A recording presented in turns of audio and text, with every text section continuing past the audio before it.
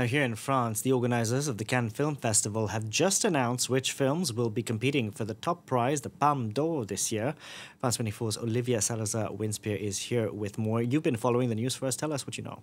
Okay, well, there are a few familiar faces in the competition this year. We're starting with French director Jacques Audiard. He's got a film called Emilia Perez. Uh, Selena Gomez is in that one. He's already won the Palme d'Or, so who knows, could be another one for him. Russian filmmaker Kirill Serebrennikov. He's back at Cannes with a biopic biopic of Edouard Limonov, the Russian writer and dissident politician who will be played by Ben Whishaw. Of course, Serebrennikov himself is not exactly a welcome artist in Putin's Russia, so he knows what he's talking about there. Mm. Karim returns to his native Brazil for a film Motel Destino. That's after last year's period drama Firebrand, uh, starring Alicia Vikander. That was about uh, Henry VIII's final wife, uh, Catherine Parr.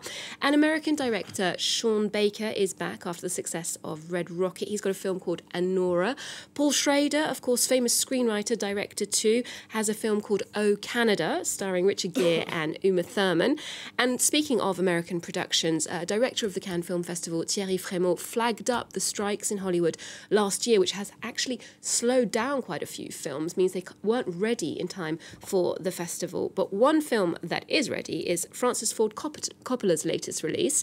That's called Megalopolis, and it stars Adam Driver, Laurence Fishburne, and Audrey, Aubrey Plaza.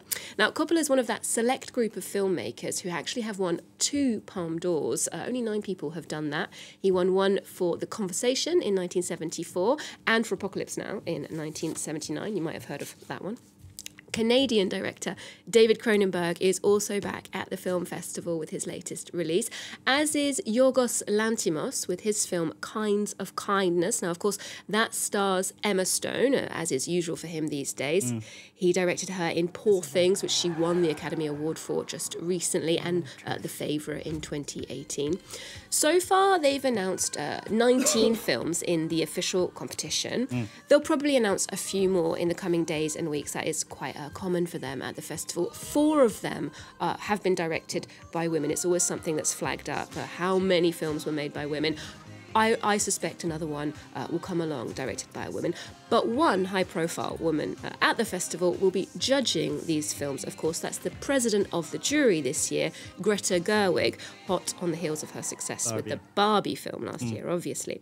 Now, when it comes to prizes, one prize we already know about is the honorary Palme d'Or. That will go to George Lucas of Star Wars fame. Uh, for his career, his body of work, which is considerable, of course. Plenty of treats out of competition as well. That's always the case at Cannes. One is the very hotly anticipated Furiosa. That's the fifth instalment of George Miller's Mad Max series of films.